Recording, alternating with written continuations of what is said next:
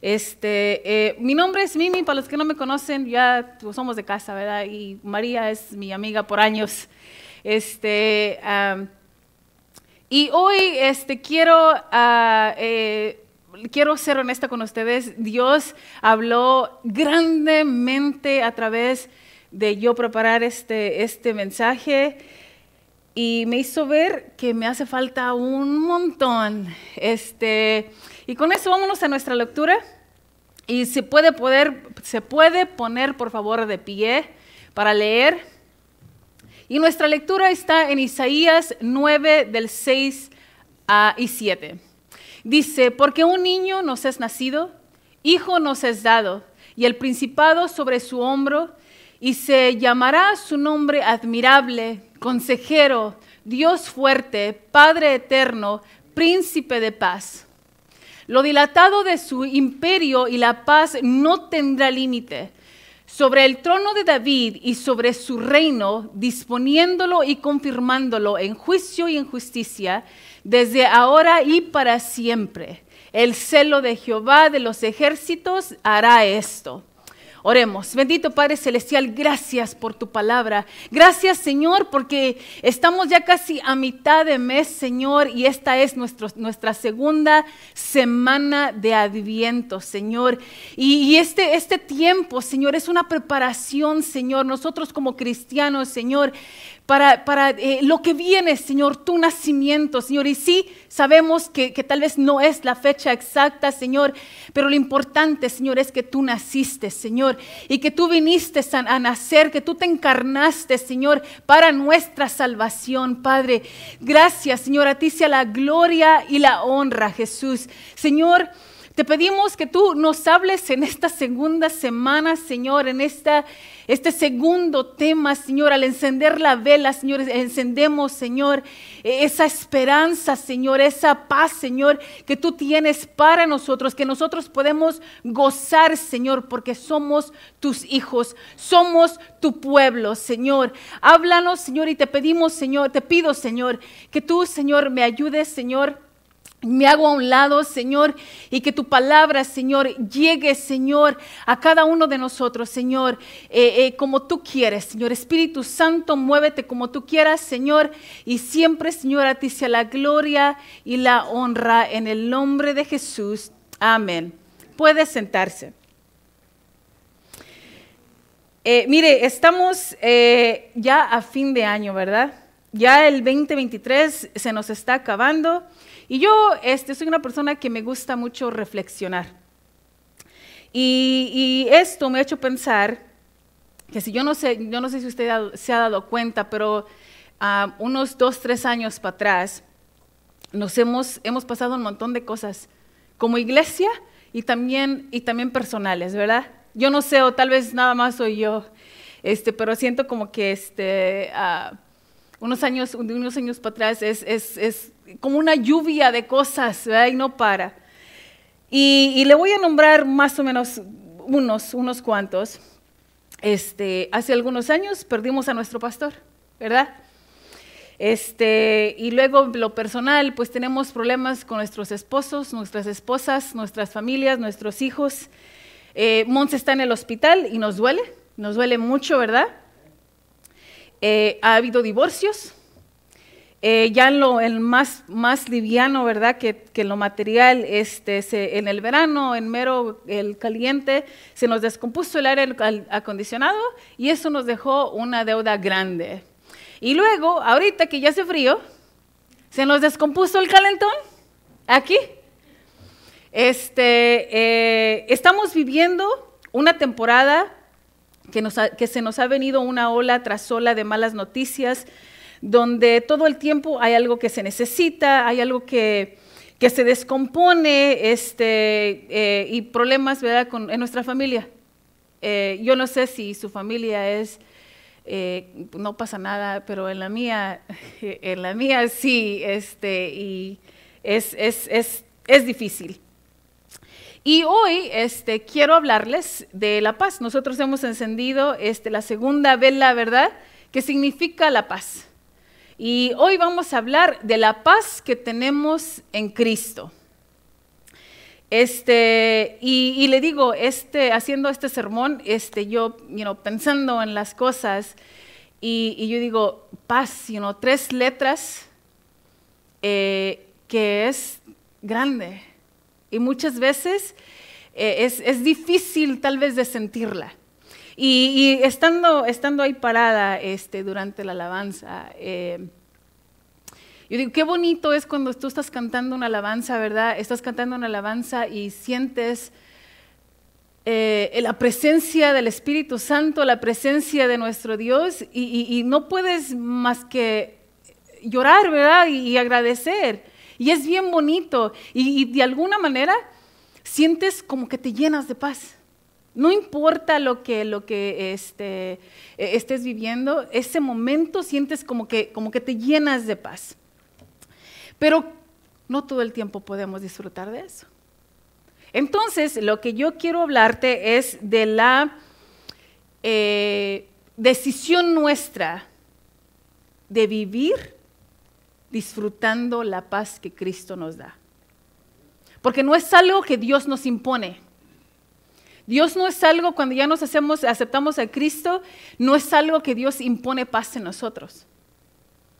Es una decisión de nosotros. Por ejemplo, si quieres sentir momentos así bien, bien bonitos, este, fáciles, puedes venir y aquí Mariela está cantando y Mariela tiene ese, eh, todo el grupo. Pero muchas, eh, eh, es como su don, ¿verdad? Como estamos diciendo, Dios, Dios ministra a través de ella. Y muchas veces cada palabra que ella dice, dice, dices, you know, es para mí, es para mí. Y, es bien fácil sentir en esos momentos, sentir la paz de Jesús, de, Cristo, del Padre. Es bien fácil. Pero qué tal que si este, you know, estamos aquí, ¿qué? ¿Dos horas? ¿Tres horas máximo? El resto del tiempo, el resto de nuestra, you know, el día, la, semana, no estamos aquí. So, ¿Cómo decidimos vivir, estar en la paz? ¿Verdad? eso vamos a aprender, de eso vamos a hablar hoy. Hoy quiero hablarte de la paz, de la paz que Cristo nos da. Es decir, que la venida de Cristo nos ha dado la oportunidad, sin importar la temporada que estemos viviendo, para permitir que la paz se establezca en nuestros corazones. Y déjeme repetírselo otra vez. Cristo nos ha dado la oportunidad para que la paz se establezca en nuestros corazones. Permitir o escoger eh, eso, que la paz esté en nuestros corazones. Otra vez, no es algo que Dios nos impone, es algo que nosotros, si se puede decir, nosotros agarramos. Yo no estoy hablando de que, eh, de que ok, espérate, de que, se arregle este problema, entonces voy a tener paz. No estoy hablando de que déjame, este, me acomodo este, eh, económicamente y voy a tener paz. Estoy hablando de una decisión voluntaria de someterse al Rey de Reyes y Señor de Señores que reina y gobierna. Deja, déjate explico de otra manera. Dios ha venido. Nosotros como cristianos creemos que Dios ha venido, que Dios, Hijo, segunda persona de la Trinidad, se encarnó y habitó entre nosotros. Y ahora por eso, por eso que pasó y por su muerte y resurrección y ascensión, estamos mirando hacia el futuro con, con confianza, creyendo que Dios vendrá otra vez, pero esta vez no va a venir como un bebé esta vez no va a venir como un, niño dulce de seis libras, ocho onzas. Esta vez, cuando Él venga, Él va a venir como el rey, como un rey que reina y gobierna victorioso, tal y como es Jesús. Y este espacio donde nosotros escogemos vivir o estar, es donde creemos que habrá paz y déjame, déjame decírtelo otra vez, es donde cuando nosotros creemos como cristianos que Él ya vino, ¿verdad? Él vino, se encarnó, creció, vivió como nosotros, sintió lo mismo que nosotros sentimos. Él ya vino y creemos que Él va a venir. Ese espacio es donde nosotros escogemos, escogemos vivir y escoger esa paz de que no importa lo que pase entre este punto y este punto, no estamos solos. Cristo se fue, ¿verdad? Pero no nos dejó solos. Nos dejó al Espíritu Santo, que es el que está con nosotros. So, entre este punto y este punto, nosotros escogemos la paz de Cristo. De decir, ya vine como bebé, que, tal vez este, eh, si, pensamos en un bebé, ¿verdad? Como la, bebecita de, Adela, you chiquita, tierna, bonita, ¿verdad? Así es como vino Jesús. Pero cuando el nosotros tenemos la esperanza, que fue la, la, semana pasada, ¿verdad? Nuestra primera vela, nosotros tenemos la esperanza de que Él va a venir otra vez, de una segunda venida, pero ya no va a venir tierno así. Él ya va a venir como rey de reyes y señor que gobierna, ese que va a venir victorioso. Ese es nuestra esperanza, es lo que creemos. Y otra vez, en medio de este punto y de este punto, nosotros tenemos que escoger vivir en paz, disfrutar de la paz que Cristo nos da.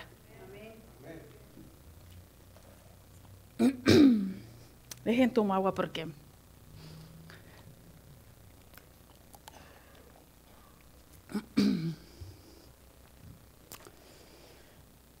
Regresando a nuestro pasaje de Isaías, eh, dice, déjame decirte que en, su contexto la nación de Israel estaba dando vueltas ah, de entre rey tras rey tras rey, ¿verdad? Porque era lo que ellos querían, reyes, ¿verdad? Pero luego a veces les, les, eh, les tocaba unos que eran buenos, otros no tan buenos. Estamos estudiando este, los, cada libro este, los viernes, comercial. Este, y, hemos mirado que muchos reyes no eran tan buenos. Este, y, todo lo que pasaba, ¿verdad? Pero entonces este es lo que está pasando el, el pueblo de Israel. Están, están vueltas, uno rey tras rey tras rey. Y ya el pueblo de Israel estaba cansado. Y, y en ese ambiente en el que Isaías comienza a prometer o a profetizar, que no siempre va a ser así, ¿verdad? Escucha lo que dice eh, Isaías, eh, otra vez el Wallet, para que se les quede. Porque un niño nos es nacido, hijo nos es dado, y el principado sobre su hombro, y se, y se llamará su nombre admirable, consejero, Dios fuerte, Padre eterno, príncipe de paz. Lo dilatado de su imperio y la paz no tendrá límite sobre el trono de David y sobre su reino, disponiéndolo y confirmándolo en juicio, en justicia, desde ahora y para siempre. El celo de Jehová de los ejércitos hará esto. Déjame darte un par de razones por la cual este, es bueno dejar que la paz reine en tu corazón. Primero, él promete aquí que la venida del Mesías de este lado del, pasaje. pongamos que este, y nosotros ya lo estamos, nosotros estamos leyendo este, este pasaje, ¿verdad? Nosotros ya sabemos que del que está hablando es Jesús, ¿verdad? Es Cristo, ¿verdad que sí? Sabemos que Él es Jesucristo. En la, en la venida del Hijo, Él describe el gobierno de Jesús como una expansión ilimitada. No va a poder, no se detiene, sigue creciendo, ¿verdad? El reinado y el gobierno de, Cristo se, se extenderán, expandirán ilimitadamente. Hoy en día hay más de 2.3 millones de cristianos en todo el mundo. 2.3 millones de cristianos que, de personas que llamamos a Jesús Señor. Y esto no se oye como, como un imperio, una expansión ilimitada de lo que está hablando Isaías, ¿verdad? Dice que el, que va a venir, el rey que va a venir, este, su imperio dice que, no, no, no, no, tiene límites. Y podemos ver nosotros ya aquí en, en nuestro punto que estamos, de que se cumplió, ¿verdad? Ya nosotros sabemos que lo que estaba diciendo este Isaías se cumplió. Vino el rey eh, y, dice que su, y su imperio sigue. y nosotros somos parte de esa expansión. Nosotros somos parte de esa expansión. Nada ha detenido el reinado de Jesús, su gobierno y su influencia. Ningún régimen, ningún grupo u organización. Y usted y yo nos sentamos en un lugar de la historia humana donde realmente podemos ver eso. Imagínese el, el punto, el lugar privilegiado que nosotros tenemos. Isaías se lo estaba diciendo al pueblo de Israel, ¿verdad? Pero el pueblo, de, Israel no tenía la Biblia para decir, oh, sí, sí, sí va a pasar, o, you know, sí. No. Eh, el, el, Isaías, el profeta les, les, les, you know, les dijo la profecía y ellos, you know, estábamos hablando de la fe en la escuela dominical. Ellos podían este, creer o no creer, ¿verdad? Póngase en los pies, en los zapatos de, de, de los israelitas en ese tiempo. Estaban cansados de, estar rey tras rey y algunos eran malos y les, les daban latigazos, los trataban muy mal. Y, iban así, ¿verdad? Era como una, una rueda. You rey tras rey tras rey. había otros que estaban, que eran buenos, pero se acababa su reinado. Se acababa su reinado y luego el siguiente.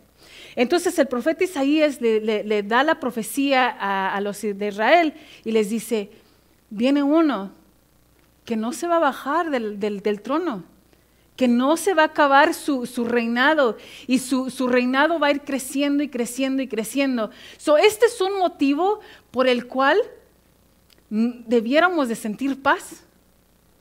Porque ya nosotros en este, en este lado de, de, estar viendo que sí se cumplió, podemos ver que Cristo cumple, que Dios cumple sus promesas, ¿verdad?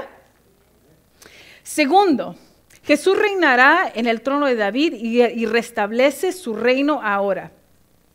Mira, Jesús, Isaías, Isaías está conectando esto, de, esto con las promesas del pacto de Dios desde la creación.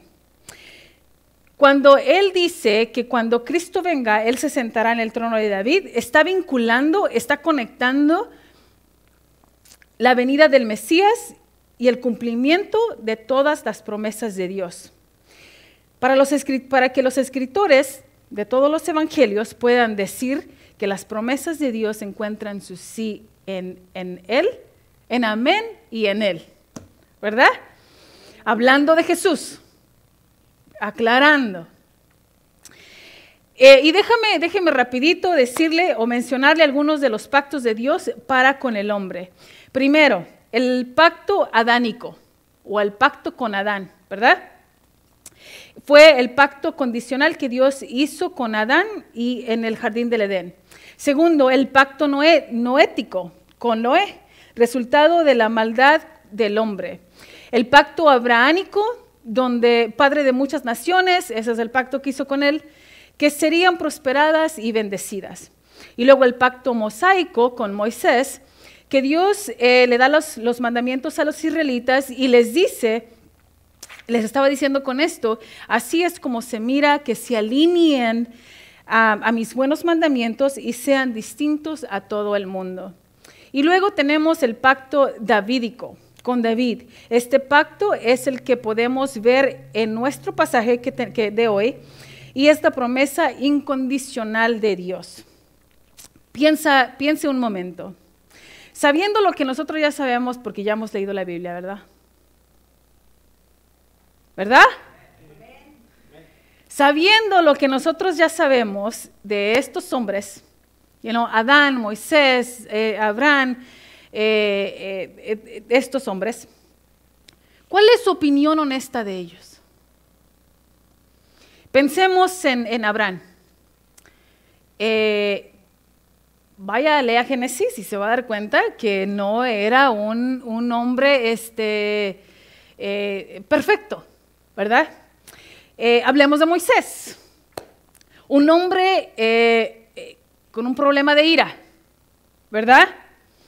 él mató al egipcio, le pegó, le pegó a la roca y constantemente le pedía a Dios que matara a todos, ¿verdad que sí?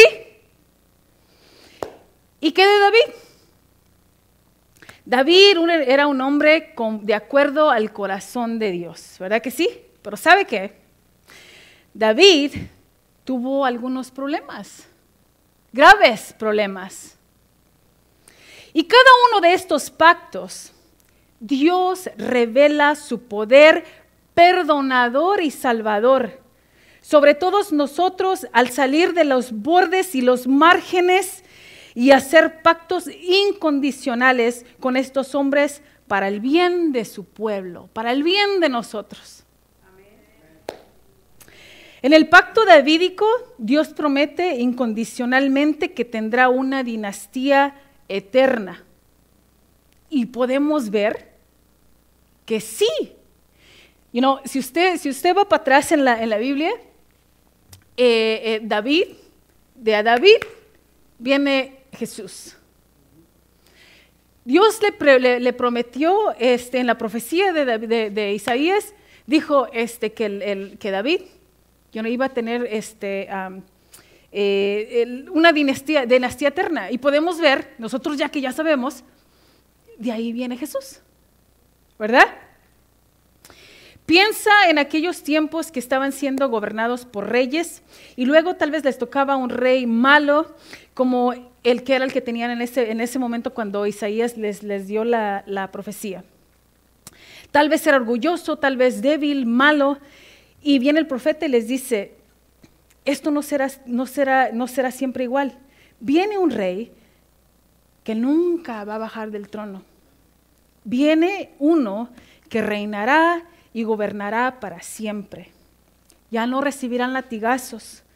Hay uno que viene y eso nos mueve a ti y a mí al, al, nuevo pacto incondicional que se estableció entre Dios y todos los que creen en el nombre de Jesús para ser salvos tanto en esta vida como en la venidera. Tú y yo podemos ver, podemos mirar claramente ahora que lo que Dios prometió a, a, través del profeta Isaías es exactamente lo que pasó. ¿Sabes esa parte de los evangelios donde te brinca siempre que está este que dice que tal engendró a tal y que tal engendró a, tal y que de este salió este? ¿Ve que nosotros no lo brincamos? Eso es como un resumen, es decir, te muestra el linaje de David hasta Jesús. Te muestra el pacto que tuvo con Abraham. Te muestra la obra de Dios, las promesas de Dios, la fidelidad de Dios.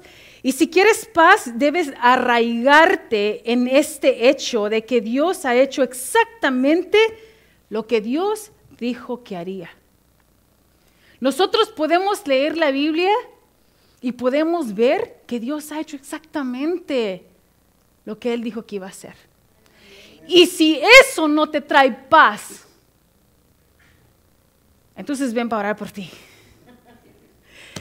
Eso debiera de darnos paz, de, de, de, saber que Dios no es como nosotros. ¿Cuántas veces nosotros decimos, oh sí, sí voy a ir a, you voy a servir en este lado, voy a hacer esto? Y se nos hace tan fácil. Mejor no voy. Dios, Dios no es como nosotros. Dios cumple lo que dice. Y, yo me pregunto, ¿qué es lo que Dios te ha prometido a ti? ¿Cuántos, ¿Cuánto tiempo se ha tardado?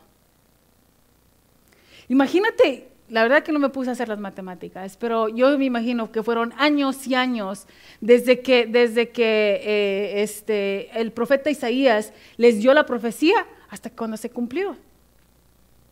Y, nosotros podemos ver, le digo, somos tan privilegiados de que nosotros podemos leer la palabra, tenemos esto para que nuestra fe se arraigue, de, que, de que agarremos nuestra fe de aquí, de que nosotros conocemos que, que Dios es fiel. Hermanos, eh, eh, podemos ver a, a, Adán, Abraham, Moisés, David, eran como nosotros o peores tal vez. Y Dios escogió a ellos para bendecirnos a nosotros.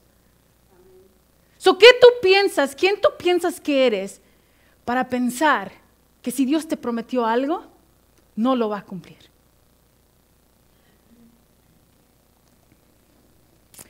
Dios no entra en pánico porque estos últimos años han sido muy fuertes y llenos de problemas. Mira, Dios nunca ha sido tomado por sorpresa.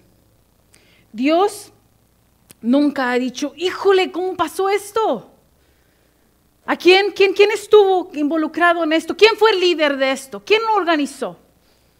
¿A cuál ángel nosotros asignamos a este evento o esta, este proyecto? Jesús, tú estabas ahí. Espíritu Santo, tú fuiste. No hay nada de sorpresa para Dios. A Dios no le pasa eso. Podemos ver que Cristo ha cumplido sus promesas. Esta realidad de que Jesús reina con justicia y rectitud debería quitarnos el miedo, la ansiedad, las preocupaciones. Y mira, la verdad es que yo no mira, he venido aquí a hablarte de algo nuevo. ¿Verdad que no? En realidad, este, eh, no estás tú como, ¿qué? Jesús está reinando y gobernando. ¿Por qué nadie me lo dijo? ¿Verdad que no? Usted lo sabía. Usted sabe eso ya.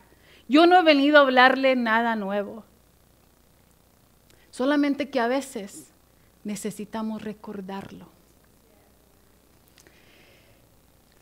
Mira, cuando empieces a pensar en que, híjole, Dios mío, me siento sola, me siento abandonada, esto es mucho para mí, no voy a poder. Entonces, acuérdate, las promesas de Dios son verdaderas. Él ha sido fiel milenio tras milenio. Él no te abandonará ahora. Y cuando esos sentimientos y esos pensamientos vengan, di, yo escojo creer en Cristo, yo escojo creer que Cristo es mi paz. Escojo someterme a Jesús y escojo darle el control a Él. Porque sabe qué? Es ahí, en ese lugar, donde la paz gobierna en nuestros corazones. Y sabe que eh, eh, pensando este, eh, lo que, en lo que nos ha pasado, en lo que hemos vivido, yo creo que también you cada uno de nosotros tenemos nuestra historia. este, personalmente, yo digo, este, en mi familia ha sido como una, como el pueblo de Israel, como una este, rueda este, donde problema tras problema, ¿verdad? pero esto me hizo preguntarme a mí misma y le pregunto a usted, ¿qué tal si, si gran parte de nuestra, de nuestra inquietud y ansiedad que estamos viviendo, preocupación, de algún modo viene de nuestro querer, de nuestro, de nosotros querer el reino, pero no querer al rey? Piensen eso. Muchos de nosotros Queremos eh, los beneficios del reino, de, pues sí, no sé qué de otra manera ponerlo, del reino, pero sin someternos al señorío de Cristo Jesús.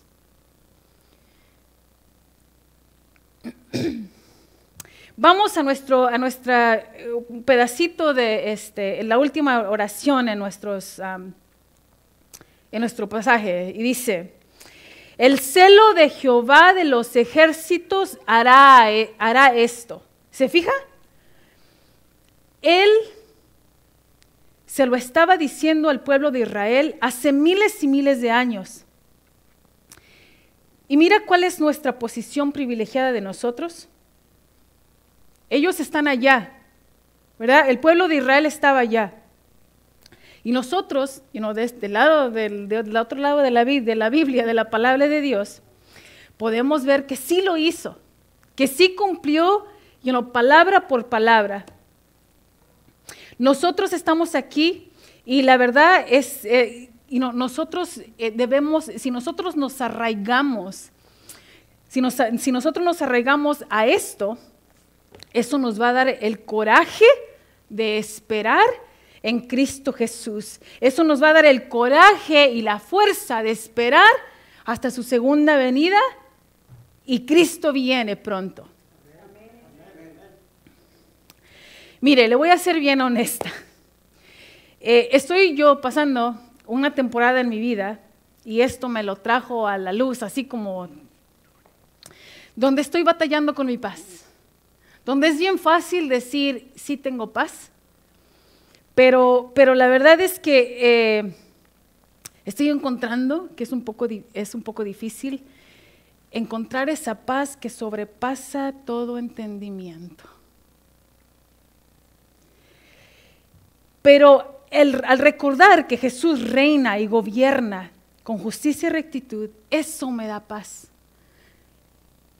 El saber que puedo depositar mis preocupaciones y problemas en Él, eso a mí me da paz. Y, la verdad es que eh, si, nosotros, no quiero decir, si nosotros este, nos enfocamos mucho, si tengo un problema y nos enfocamos mucho en eso, y, en, sí es como le, estamos diciendo a Cristo, a Dios, yo lo puedo solucionar. Y ahí es donde nos llenamos de ansiedad y preocupación, porque no podemos arreglarlo. Porque muchas veces Dios nos dice, espérate, déjamelo. Yo voy a tratar con tu hijo. Yo voy a tratar con tus nietos. Yo voy a tratar con tu esposo, tu esposa. Y cuando nosotros queremos arreglarlos, es donde nos llenamos de ansiedad y preocupación, donde nos frustramos porque no hacen caso. ¿Verdad? Y no es nuestro, nuestro trabajo de hacer eso. Nuestro, nuestro trabajo es de escoger la paz. De que si Dios nos dice, you know, cree en Jehová y, you know, y se me fue ahorita. Eh, pero es de que, you know, eh, si tú crees en Dios, los que vienen atrás de ti también. ¿Cómo dice, ma? Cree en Jehová y toda tu casa será salva. Ándele, ahí está. Y en el Señor Jesús y toda tu casa será salva. Algo así. Pero si yo me arraigo, me enraizo ahí, ¿enraizo se dice? Eh, eh, de que, you know, eso es estárselo dejando a Dios. Eso es de que ya me cansé, porque sí o no, tú quieres arreglar los problemas y te cansas. Te cansas. Es como este, e, en la mañana este, yo y mi papá vamos al, gimnasio y te pones a hacer ejercicio en una máquina y la máquina no se cansa. Y no puedes, ahí está horas y horas y la máquina nomás no se cansa. Y, el viernes que estaba este, haciendo el ejercicio, yo digo, estaba, estaba este, en, la máquina esa, eh, para, en la de las escaleras, para ser más específica, este, y, y, le das y le das y le das y la máquina no se cansa. Y así es lo mismo cuando nosotros queremos arreglar un problema. El problema va a seguir. Mientras que nosotros no le demos el control a Dios y decirle, sabes que no puedo. Ahí está. Y, este, y e, eh, prefiero, escojo bajarme de la máquina porque ya me cansé. Este, es lo mismo, así es. Tenemos que eh, entender y descansar en que Dios, si, si tú le das el control a Dios, a Cristo, es lo mejor. So, confiemos de que Dios, a Dios no le eh, agarra nada por sorpresa. Dios está en control. Jesús reina y gobierna con justicia y rectitud. Y, mira, este, si tú vamos al, otro, este, para terminar ya, Efesios. Efesios 2, 14 y 16. Dice, porque Él es nuestra paz que de ambos pueblos hizo uno, derribando la pared intermedia de separación, aboliendo en su carne las enemistades, la ley y los de los mandamientos, expresados en ordenanzas, para crear en sí mismo de los dos un solo y nuevo hombre haciendo la paz. Y mediante la cruz reconciliar con Dios a ambos en un solo cuerpo, matando en ella las enemistades. Amén. Cristo es nuestra paz. Él es el que vino y nos reconcilió. Y damos gracias a Dios porque Él, él Cristo Jesús vino, nació y celebramos su nacimiento y tenemos esa esperanza y esa paz. Escogemos vivir en ese espacio de paz sabiendo que Él viene otra vez. Amén. Eh, quiero invitarte, este, si usted se ha sentido así, si usted se ha sentido que este, tal vez en esta, you know, en, esto, en este tiempo este, ah, le ha dado dificultad para tener paz, le, le, invito a que pase para acá y, este, y para orar juntos.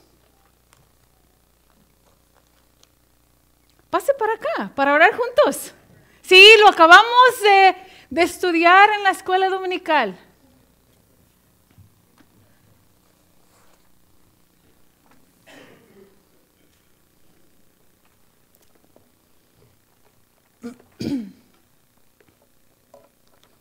¿Usted cree que ah, hay algo, que hay algo que, este, que le esté robando su paz?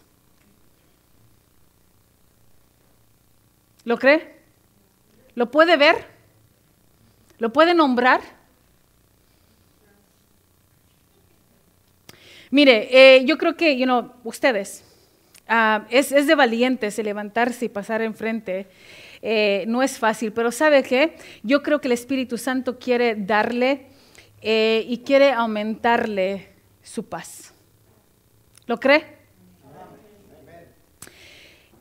Si usted puede identificar qué, qué es lo que usted está enfrentando, qué es lo que a usted no le deja tener esa paz, tal vez problemas con su esposo, esposa, hijos, nietos, miedo, nómbrelo ahí en su cabecita, si no lo quiere decir recio.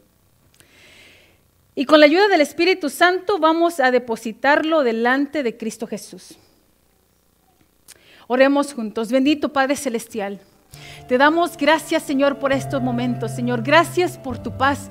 Gracias, Jesús, porque tú veniste, Señor, y podemos disfrutar de tu paz. Porque podemos ver, Señor, que tú has hecho, Señor, palabra por palabra. Tú has cumplido, Señor, lo que tú has dicho, Señor, que iba a hacer, Señor. Señor, venimos delante de ti, Señor. Y te pedimos, Señor, que tú nos ayudes. Señor, reconocemos que estamos batallando en sentir esa paz que tú, Cristo, nos has dado. Esa paz, Señor, que sobrepasa todo entendimiento. Estamos batallando, Señor. Ayúdanos, Padre. Señor, venimos, Señor, y te entregamos, Señor. Todo aquello que nos está robando, Señor. Tu paz, Señor.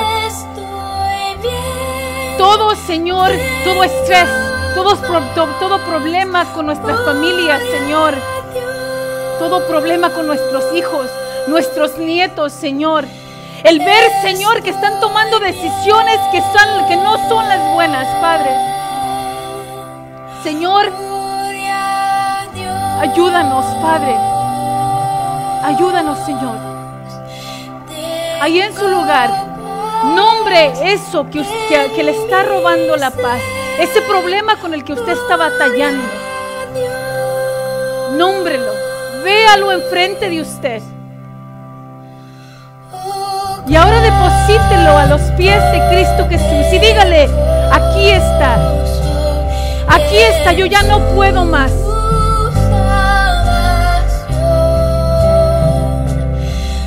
Póngalo delante de Dios y dígale, te entrego el control. Cristo Jesús, te entregamos el control. Señor, te entrego a mis hijos, Padre sé que tú los amas mucho más que yo, Señor. Señor, sé tú con ellos, Padre. Ayúdalos a tomar buenas decisiones, Señor. Enamóralos más de ti, Señor. Señor, que ellos puedan llegar a amarte mucho más de lo que yo te amo, Padre. Pongo a Martín en tus manos, Señor. Pongo a Jacob en tus manos, Padre. Cuídalo, Señor. Escogemos, Señor, escojo vivir en tu paz, Señor. Disfrutar de la paz que tú nos das, Cristo Jesús. Escojo eso, Señor. Gracias, Padre. Gracias, Señor. A ti sea la gloria y la honra, Señor. Padre bendito, Señor, te pido, Señor, por cada hombre, por cada mujer, Señor. Te pido, Señor, que tú seas llenándolos de tu presencia, Señor. Que de alguna manera, Señor, ellos puedan sentir esa paz, Señor, que tú tienes, Padre. Que puedan sentir esa paz, que sean llenos de tu paz, Señor. Que salgan de este lugar, Señor, llenos, inundados de tu paz, Padre. Gracias. Gracias, gracias, gracias, Señor. Gracias, Padre. Gracias por tu paz. Gracias por tus promesas. Gracias, Señor. Y nosotros elegimos, Señor, vivir confiados en que tú harás lo que tú nos has prometido, Padre. Gracias, Señor. Gracias, Padre. A ti sea la gloria y la honra, Señor. Gracias. Gracias, Señor.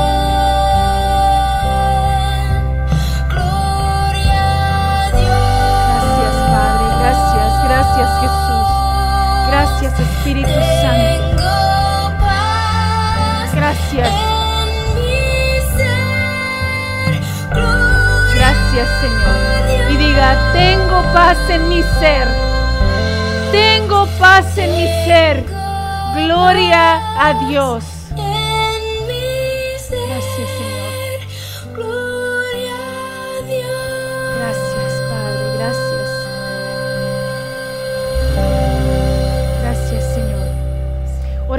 Para ser despedidos. Bendito Padre Celestial, gracias por tu palabra.